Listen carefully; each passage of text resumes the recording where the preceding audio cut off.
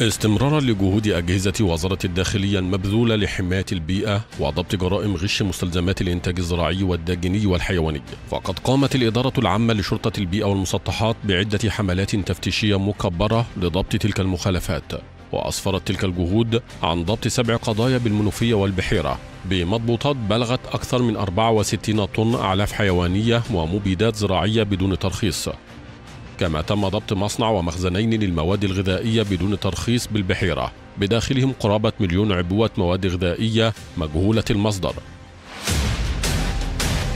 الإدارة وجهت حملة مكبرة لاستهداف المصانع والمخازن غير المرخصة بالشرقية.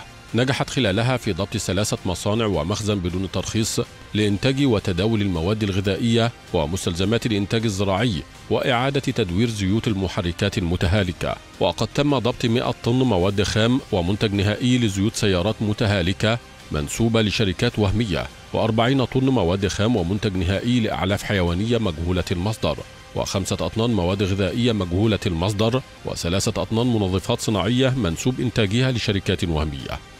وأسفرت جهود الإدارة بنطاق مديريتي أمن البحيرة والإسماعيلية عن ضبط ثلاثة مصانع ومخزن بدون ترخيص بمضبوطات بلغت نحو 289 طن مبيدات زراعية مجهولة المصدر ومقلدة و27 طن ونصف أسمدة ومخصبات زراعية مدعمة محظور تداولها بالأسواق و65 طن أعلاف حيوانية وداجنة وأسماك مغشوشة ومقلدة و11 طن مخلفات بلاستيك مغشوشة ومقلدة.